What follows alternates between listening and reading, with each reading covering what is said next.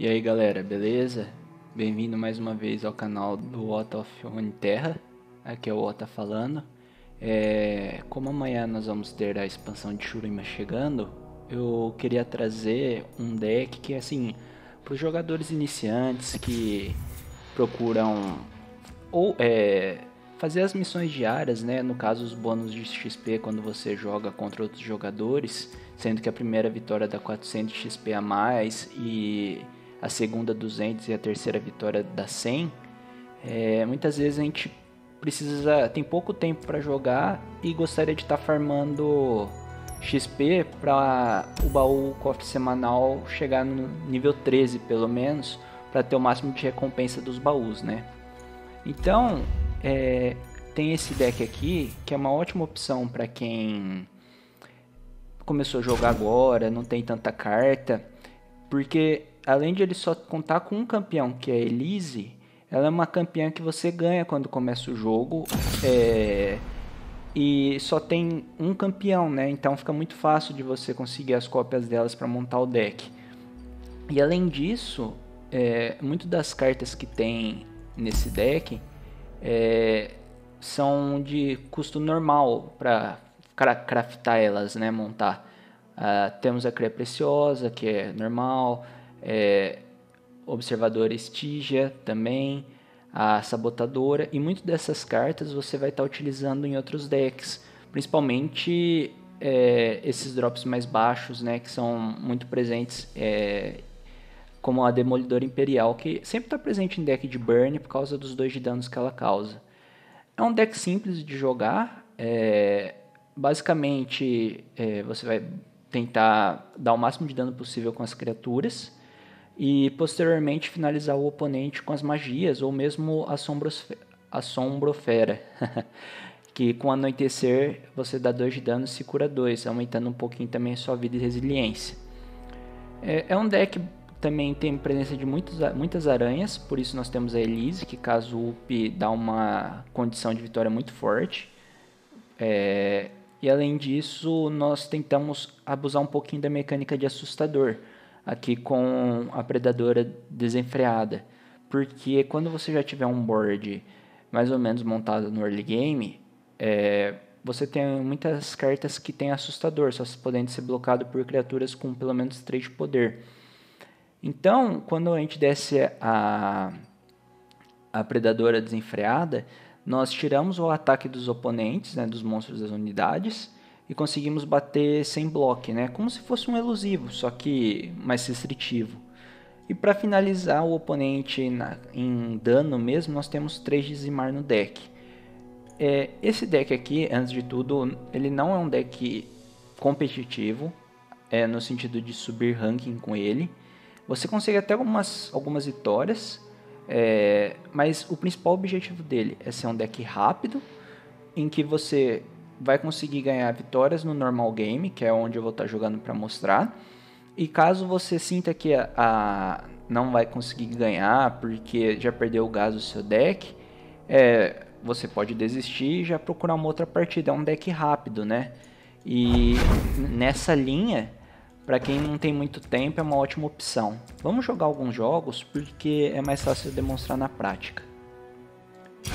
É, Vamos no normal game.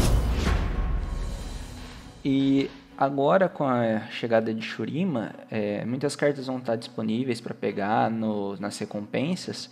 Então é justamente por isso que eu estou trazendo esse deck para ajudar a galera a ganhar XP para ir fazendo a trilha de recompensas mais fácil.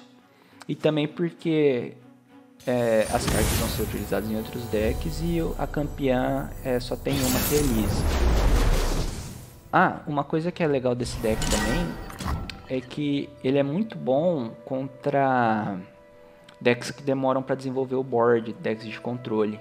Aqui até tem um drop legal 2. Aqui a observadora não é legal porque ela é boa com anoitecer. E como a gente está no turno de ataque, é interessante a gente ter alguma unidade batendo turno 1. Vamos ver se eu acho alguma coisa. Infelizmente não ganhei uma unidade turno 1, talvez eu compre ela não foi o caso, a gente só passa. Essas sombras perseguidoras é uma carta muito boa, porque ela dá vantagem de carta, card advantage, né? E as suas criaturas sendo efêmeras não faz tanta diferença, porque basicamente é, ela só tem que bater uma vez, no máximo duas. Aqui provavelmente ele deixou ver o que eu iria fazer primeiro, ele vai... Vamos ver. É, ele deu um banquete, mas até aqui não tem tanto problema, porque um de vida que ele ia recuperar, ele deixou de recuperar. Eu vou tomar esse dano, porque o nosso objetivo não é ganhar na base do um jogo prolongado. Aqui foi um bom uma boa jogada para ele. Mas vamos ver aqui. Eu posso tentar fazer ah. Bom, vamos deixar ele trocar uma aranha. Vamos ver o que, que ele vai fazer. Descer uma MF, bem, que é complicado. O que dá pra fazer, eu vou destruir essa carta, recuperar um de vida, dar um draw. E no próximo turno, se a MF for atacar, mas ele vai desenvolver mais o board, eu desço a Vigia Aracnídea pra stunar ela. Ele mandou um emoji porque eu acho que ele viu que o cara tá demorando, né?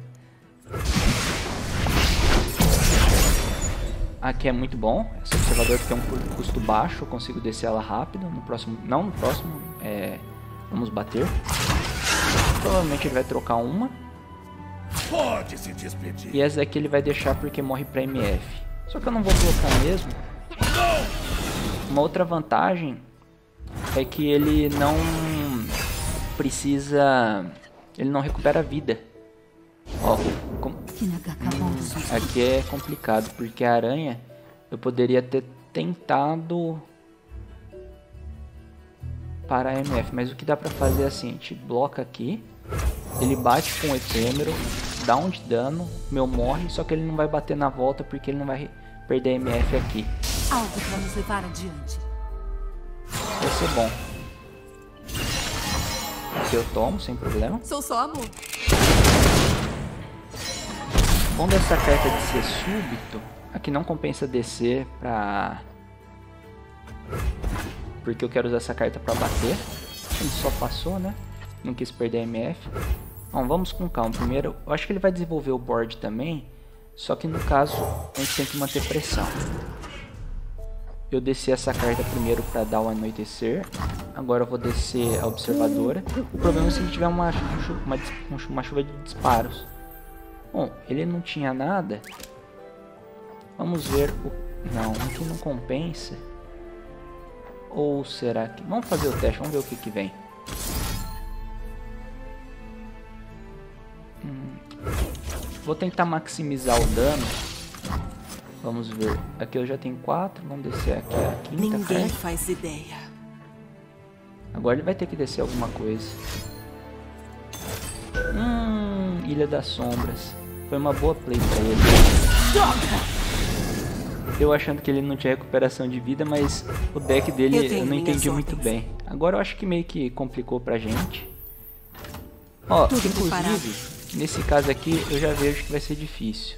Eu já vou dar surrender. Vamos dar um bom jogo pra ele. Eu não contava com aquela carta que dá o fulminante. Agradecer, né? Vamos para outra. Infelizmente eu não contava com aquela carta. É um deck bem diferente o dele, inclusive. É carinha MF. Aí de qualquer forma, quando você perde, você ganha 100 de XP. É, então você está no lucro, já que aqui no caso o objetivo é só farmar XP. Bom, um outro deck com Ilha das Sombras, então tem recuperação de vida. É um deck um pouco lento, porque provavelmente é Enduro aquela que perdura. Ó, aqui é uma mão boa. Temos Lobo, Elise. Só que eu acho que eu não vou precisar dessas cartas que eu quero drop 1, porque novamente a gente começou no, na play. Mais uma vez não veio carta drop 1. Vamos só passar.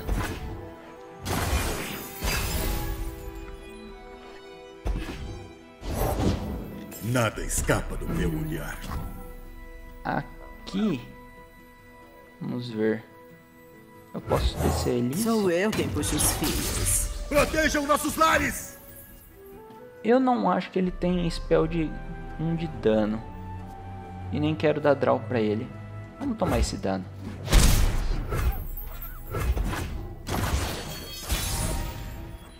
Aqui eu vou desenvolver um pouco mais o board.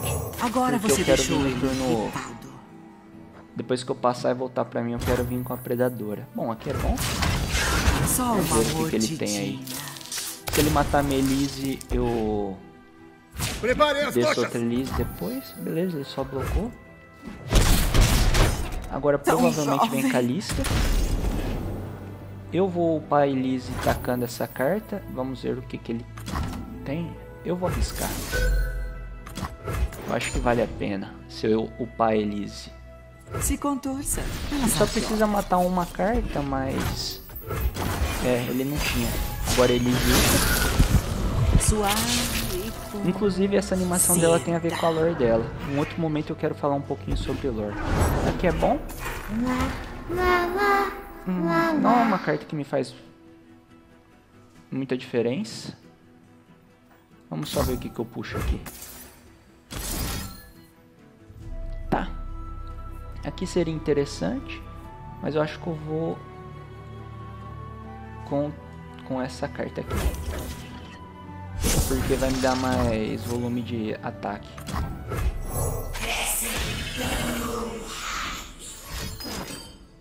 Tá bom, aqui ele vai dar muito dano em mim. Mas até aí não tem problema. Tá bom?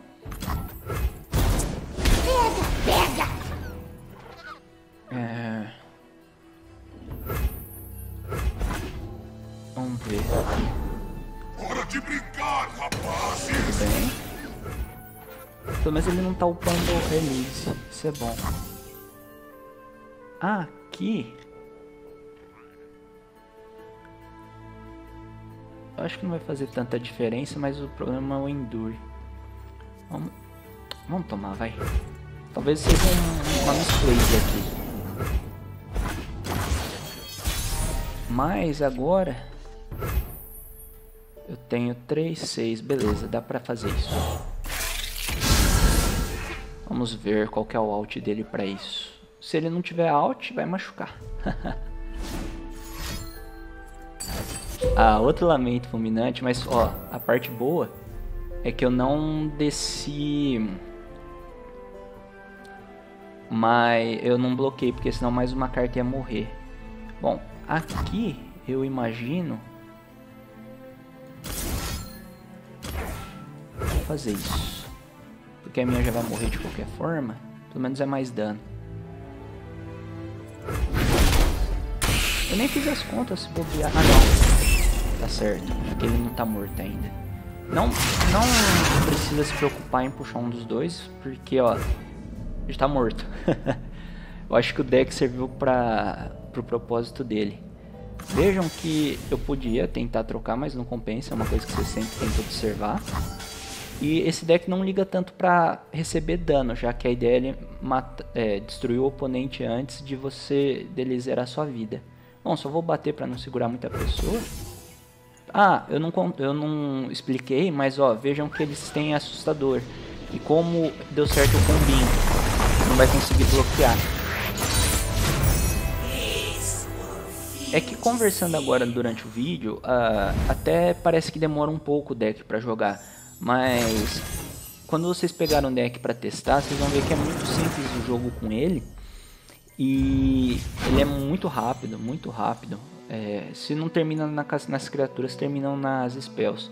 E isso que a gente pegou dois matchups um pouquinho desfavorável, porque eles têm recuperação de vida.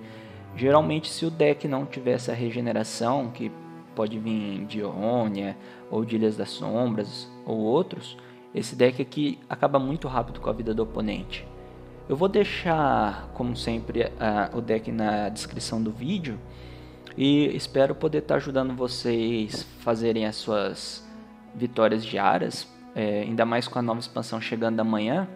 É, por favor, é, compartilhem o vídeo se puderem, se inscrevam no canal, deixem o joinha né, para ajudar a divulgar o vídeo e vamos estar tá trazendo mais vídeos de Runeterra no futuro também.